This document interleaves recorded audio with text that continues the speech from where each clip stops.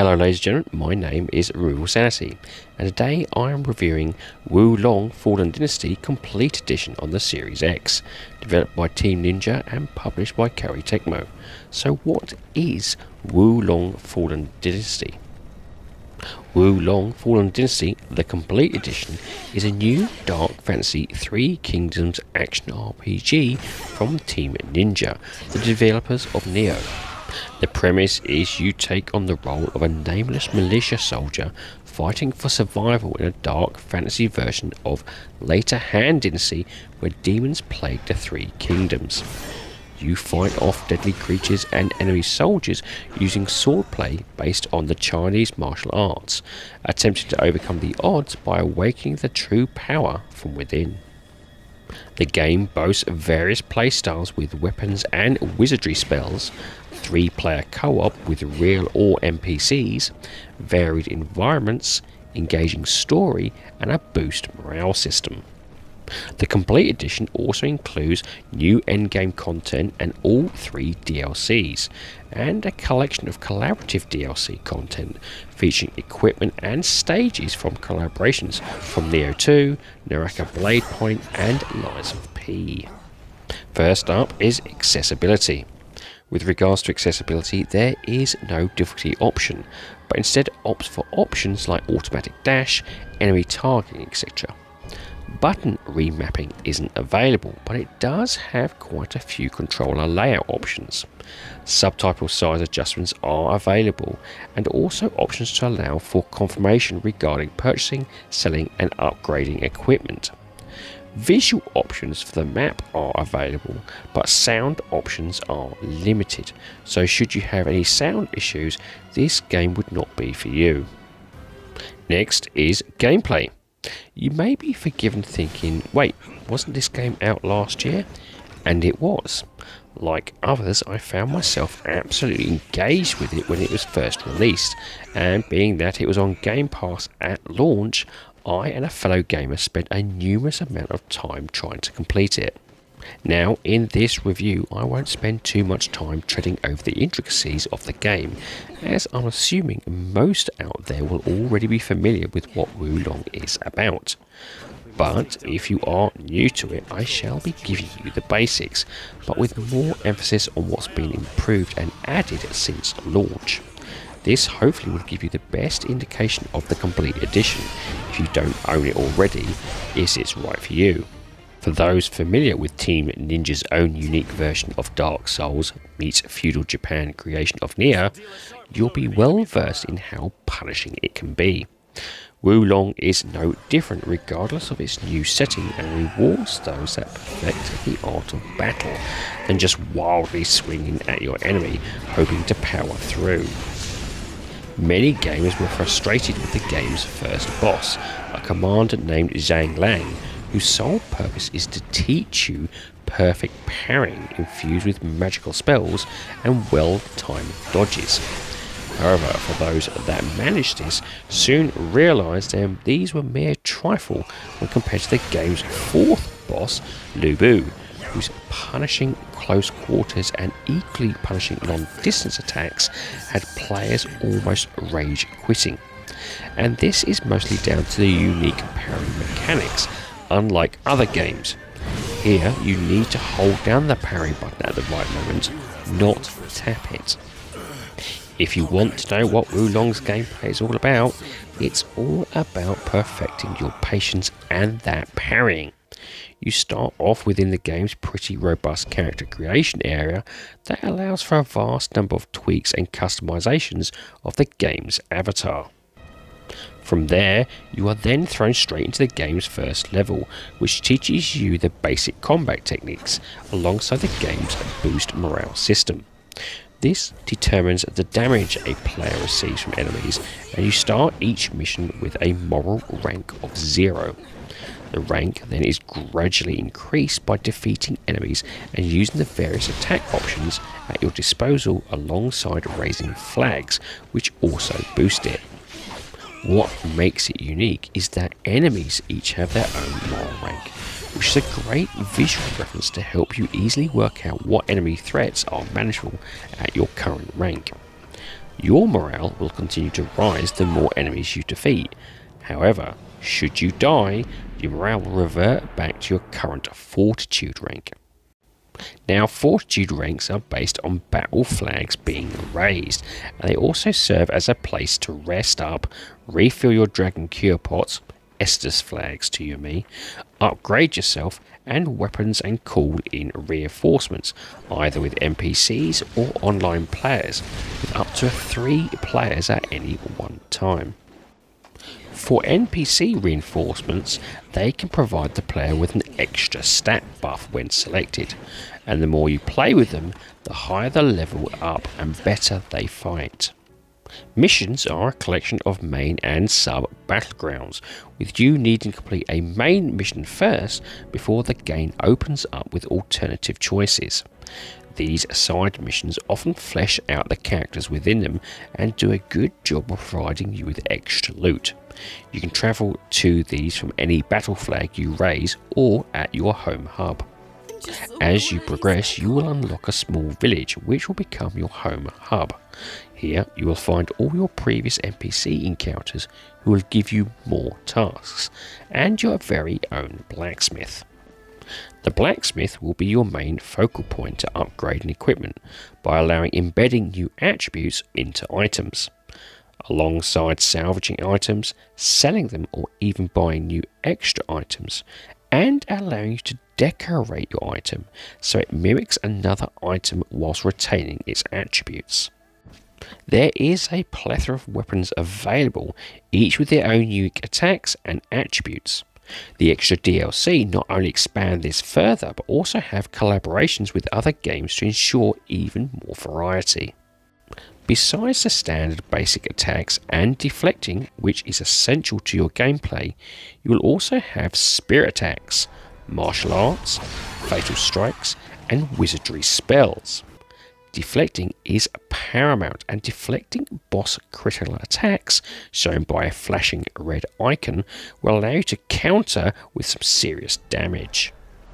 Now, attacking and deflecting help builds up your spirit gauge, which with enough of that will allow you to launch a spirit attack, a wizardry spell, or a weapons martial art skill. Spirit attacks are buffed attacks that do more damage and reduce the enemy's spirit gauge, and allowing them to be stunned, ready for a one hit fatal kill strike.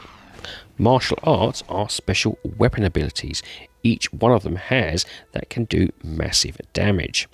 Wizardry spells are based around the five elements, which, as you progress, you can level up and can provide some impressive visual attacks, such as lightning strikes to poison clouds. This isn't just attacks though, as there is some equally impressive defense skills, like a bog that gives health regeneration per second within. Combining these will keep anyone busy in creating some truly damaging builds. The DLC provides another 35 unique spells to gain, but unlike the main game, here you'll need to farm these against foes and beasts for a tomb drop, allowing you then to utilize it. Also, to accommodate the new wizardry spells, instead of 4 being available when playing, this has been increased to 8. Finally, is Divine Beasts, and these come from defeating a boss and taking it for your own to use. These are battle tide turners and charge up as you attack, defend, and kill. There are two ways to unleash a Divine Beast using their one off special attack for an instant damage on your target, or use their strength to obtain various boosts for your character for a limited period. All Divine Beasts provide three different passives as soon as they are acquired, but can be upgraded to four by completing a certain mission unique to each Divine Beast. The DLC again provides another three Divine Beasts for the players to attain. Besides these extra elements, there is also a new system added that allows powerful effects to be activated during battle, when certain requirements to use it are met.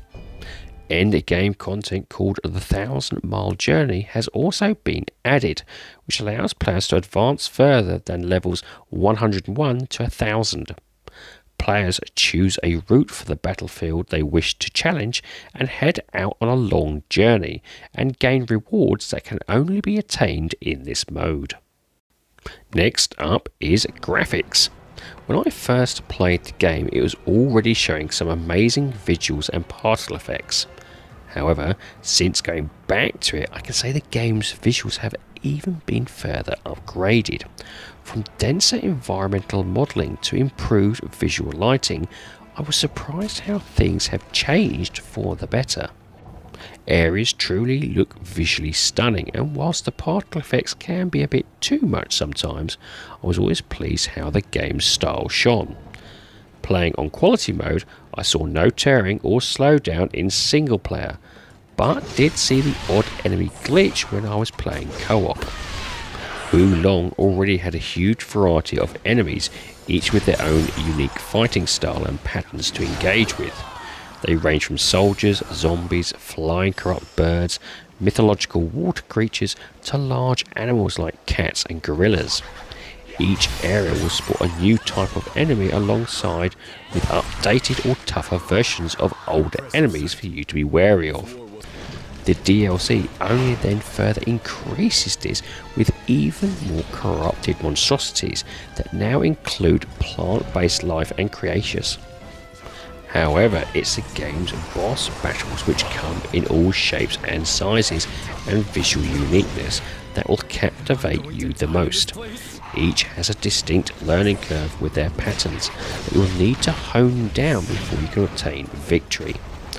Battle flags are normally placed near boss battles, allowing you to tackle the fight continuously without starting the level again. Whilst challenging, there are a variety of ways in which you can obtain help. As mentioned previously, you can recruit online strangers, team up with a friend, or call an NPC reinforcement.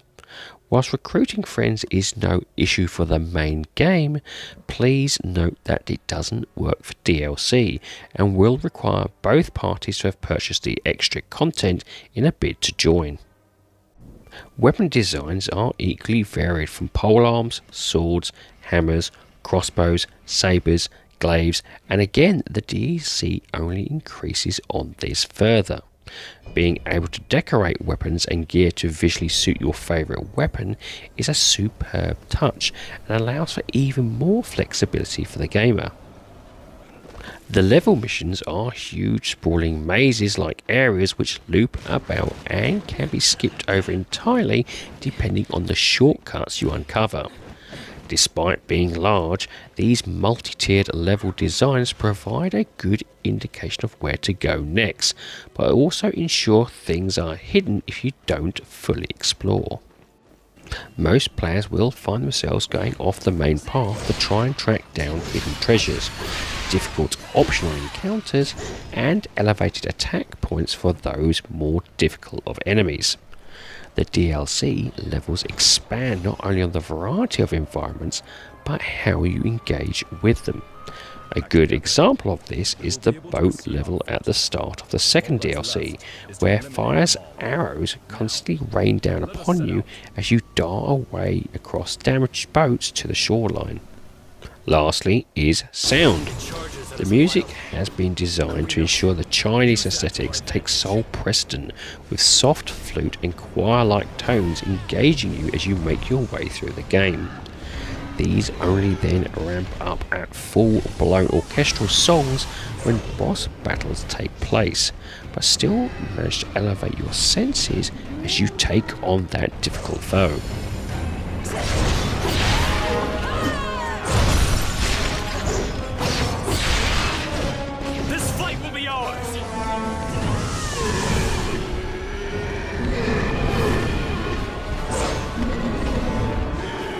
Sound effects is what really sells the game though, from its variety of weapons to wizardry spells and divine beasts, all shining in the weightiness and reverence.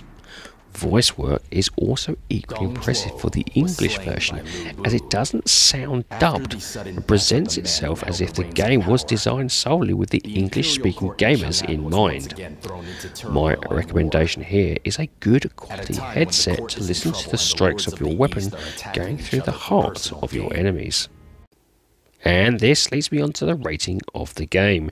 Now, I rate games in order of avoid, on sale, great purchase, and must own.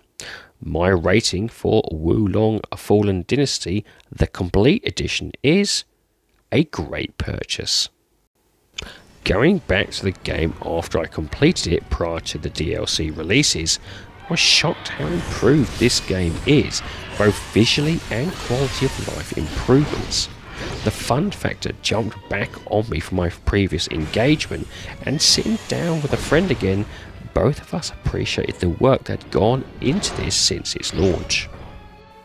The game is currently priced on Xbox at £54.99, or approximately $60, and depending on your skill and patience would give you over 50 plus hours worth of gameplay.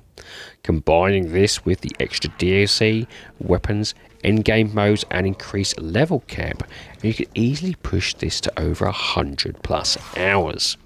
The base game is also on Xbox Game Pass should you wish to try this free, and I would recommend you do. If you have never played Wo Long and want to experience a different type of Souls like, this would be for you. The complete edition is not only good value for money with the extra content, but actually a good indication of the season pass being a worldwide investment if you already own the base game. Well, ladies and gentlemen, that's it. I do hope you like this review, and if you do, please like, share, and subscribe if you so wish. And if you would like to put some notes or even just a comment in the comment section, I do like reading them. Anyway, have a great time gaming, and I'll see you all again soon.